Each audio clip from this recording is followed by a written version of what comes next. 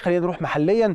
هنبتدي برضو بالسباحة. مروان القماش نجح إنه يتأهل للأولمبياد. مروان القماش لعيب أو سباح مصري من دهب آه، فاز ببطولة أمريكا المفتوحة في سباق 800 متر حرة بزمن 7 دقائق 52 آه، دقيقة.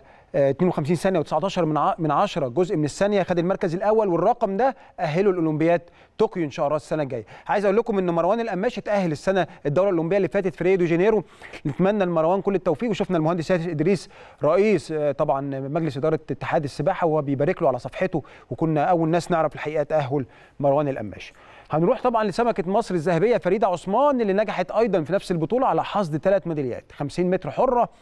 والذهب طبعا بزمن 25 ثانية آه، وواحد من عشرة من الثانية وحققت فضية 100 متر وحققت أيضا آه، الميدالية في المركز الثاني الميدالية الفضية أيضا في سباق 100 متر. فراشه.